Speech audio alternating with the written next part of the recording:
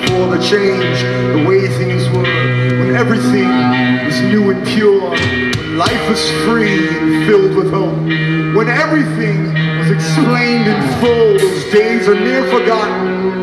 The ache of today replaces them. What about tomorrow? Will I have reached the goal or died forgotten? With nothing to show. Don't get your hopes up, son. There are no guarantees